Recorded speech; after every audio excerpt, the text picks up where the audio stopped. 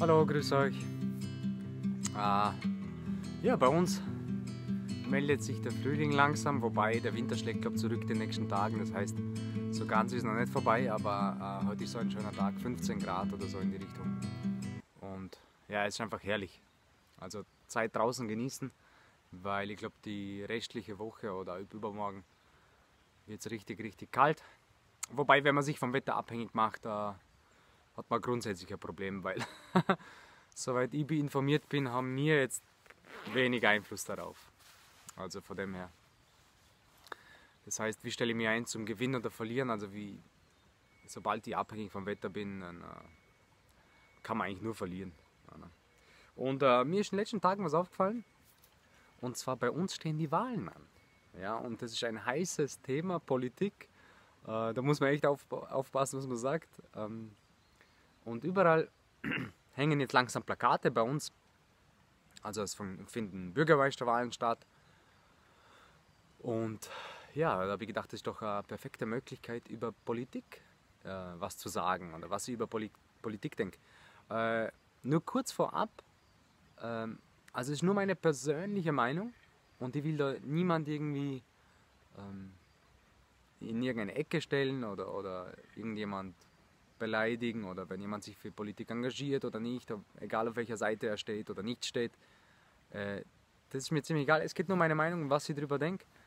Und äh, ja, ich bin da ziemlich entspannt. Es soll jeder tun, was er will. Aber ich finde, ich denke allgemein, ähm, ich glaube, wir können weniger wählen, wie es uns weiß gemacht wird. Also in der also großen Politik, sowieso die Parlamentswahlen oder wenn man das Parlament in einem Land wählt, ist in meinen Augen nur, ähm, man wählt eigentlich nur die Farbe des Zauns, in der man sich bewegen darf. Das heißt, ja, einmal ist halt rot, dann ist er schwarz oder jetzt türkis hier in Österreich oder blau oder.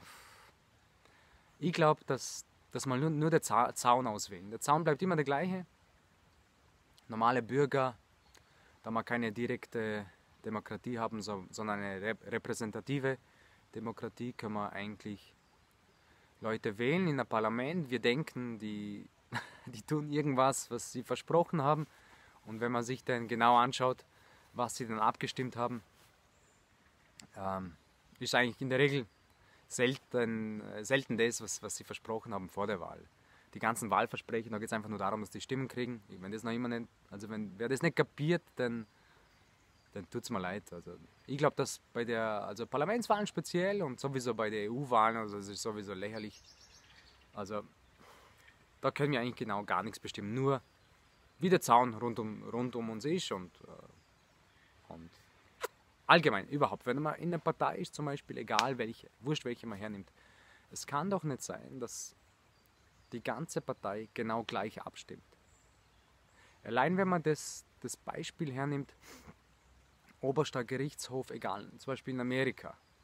Die Richter sind sich in den seltensten Fällen, äh, sind sie einer Meinung, obwohl das Gesetz klar ist, alles klar, aber selten sind sich alle Richter, die intelligentesten Personen im Land sollten sein, im obersten Gerichtshof, die Richter, die, die können nicht einmal einer Meinung sein. Und dann will man mir weismachen, dass eine Partei, keine Ahnung, 200 Leute oder im Parlament sitzen 100 Leute, vor einer Partei drin. Und die stimmen alle gleich ab. Die sind alle gleicher Meinung. Also, Schwachsinn, unmöglich. Also, und ich sage jetzt nicht, dass ihr eine bessere Lösung habt, aber repräsentative Demokratie funktioniert nicht so, wie wir das denken.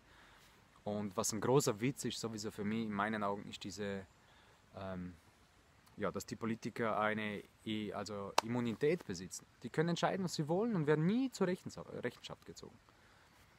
Außer sie scheiden dann irgendwann von der Politik aus und, und haben die Immunität nachher nimmer. Aber im Grunde, solange einer im Parlament sitzt und irgendwie Politiker ist, in Regierung sitzt oder was auch immer, kann er im Grunde entscheiden, was er will. Was er davor versprochen hat, spielt keine Rolle. Und ja.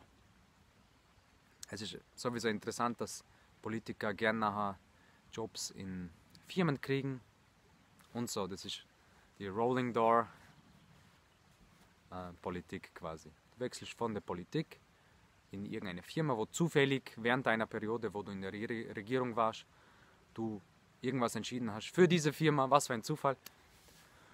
Und dann nach dem Ausscheiden aus der Regierung und aus dem Parlament, was auch immer, äh, ja, bist du dabei, kriegst dort halt irgendeinen Aufsichtsrat oder so, gemütlich. Super System, für die Leute passt. Ich, ich weiß ja, sie leben auch, haben einen gewissen Standard, Ansprüche und wollen das natürlich halten, aber für die normale Bevölkerung bringt es, glaube ich, nicht so viel. Ja, ja es ist sowieso lustig.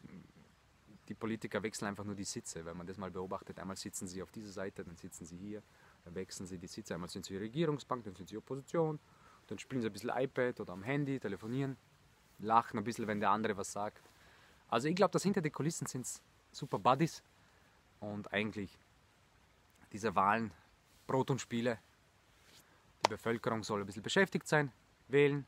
Überhaupt der Gedanke, dass wir eine Wahl abgeben, einen Zettel in eine Urne hauen, dann vier Jahre lang nichts mehr tun, sondern die Verantwortung abgeben an andere Leute, ist ein totaler Schwachsinn. Ich finde, wir sind verantwortlich für unser Leben. Und in meinen Augen die größte Wahl, die du hast, oder jeder, äh, ist zum Beispiel, was kauft er, wo kauft er ein, wen unterstützt er, wie verhaltet er sich gegenüber anderen Menschen. Ähm, ja, solche Sachen. Das ist viel wichtiger wie eine Wahl. Ja. Also nochmal, ich sage nicht, dass ich die perfekte Lösung kenne, aber gibt es intelligentere Leute wie mich. Aber momentan, so wie das läuft hier in Mitteleuropa, außer jetzt die Schweiz, ist ein bisschen anders. Äh, repräsentative Demokratie mit Immunität von Politikern bringt nichts. Die wechseln einfach nur die Sitze, stimmen also, entscheiden irgendwas, wo sie eh nie haften müssen dafür. Und that's it. Also, meinen Augen funktioniert das nicht ganz. Natürlich ist es anders in einem kleinen Dorf, wo man einen Bürgermeister wählt und es sind 200, 300 Bewohner, weil den Bürgermeister kennt man, den kann man zur Rechenschaft ziehen, den sieht man jeden Tag irgendwie am Spazieren, am Gehsteig oder irgendwie und der muss sich natürlich der Fragen stellen, der Politiker, äh, den, der Bürger. Ähm, wieso hast du so entschieden, du hast ja gesagt, du machst das. Aber auch hier glaube ich, jetzt speziell wenn man jetzt uns hernimmt, also Bregenz, ähm, das ist natürlich ein bisschen anders, weil kleine Stadt, klar, man sieht die Bürgermeisterkandidaten auf der Straße immer wieder und die können natürlich die besten Vorhaben besitzen zum Beispiel, aber ich glaube auch hier müssen sie mit so viel Gegenwind nachher rechnen, wenn sie im Amt sind, gegen so viele Leute sich durchsetzen oder so viel Zustimmungen erhalten von anderen Leuten, dass es, glaube schwierig ist, dass sie ihre Vorhaben, wenn es wirklich ernst gemeint ist oder ehrlich gemeint ist, dass sie die durchsetzen können.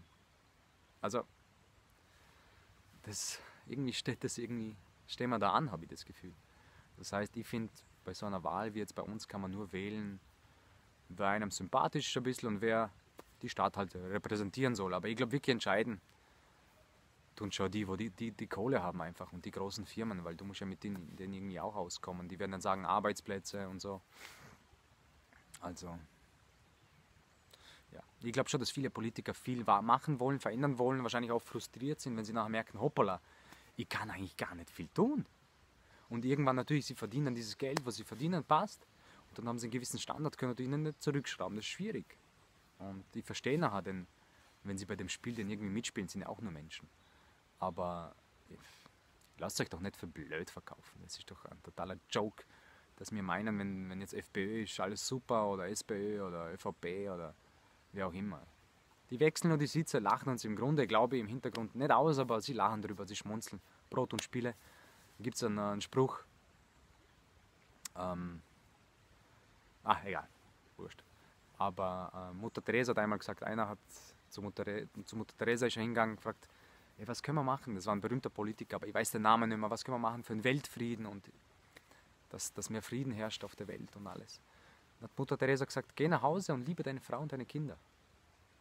Das können wir tun, das können wir tun. Wir können unsere Menschen rund um uns gut behandeln, lieben und respektieren, akzeptieren, wie sie sind. Und unser Kaufverhalten, unser Konsumverhalten können wir uns natürlich auch äh, ausdrücken. Aber ich glaube nicht, dass wenn wir eine Wahl treffen, meinen, dass nachher dann geben wir es ab und dann sind wir nicht mehr verantwortlich für gar nichts, für, für, für alles, was passiert in unserem Leben. Schöner ist, wenn man es natürlich abgibt, diese Stimme, und dann denkt, okay, der ist jetzt verantwortlich oder sie ist jetzt verantwortlich, dann ist man auch nicht mehr schuld. Dann kann man natürlich sagen, hey, du bist schuld, du hast das versprochen und ich kann gar nichts für mein Leben.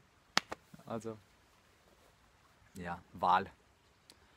Ich sage immer, dass ich nie wähle, also ich gehe nicht wählen, ich gehe ungern wählen, weil ich finde, wir haben nicht wirklich eine Wahl.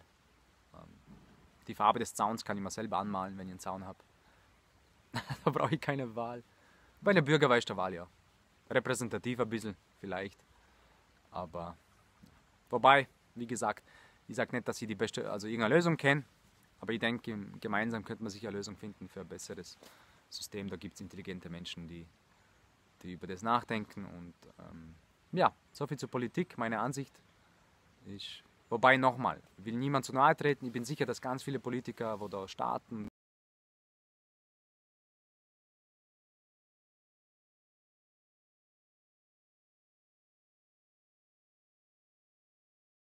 Also ja, ganz kurz Akku aus. Entschuldige. Äh, auf jeden Fall, ähm, falls jemand zu nahe getreten bin, Entschuldigung. Aber ich glaube, dass viele Politiker ehrenwert sind und starten mit vielen Vorhaben, aber sie dann merken, dass gar nicht so viel geht. Und einige geben auf, machen dann was anderes und viele finden sich damit ab und leben halt das ganze Leben damit. Und ja, ist halt so. Alles Gute, ich wünsche euch einen wunderschönen Tag. All the best.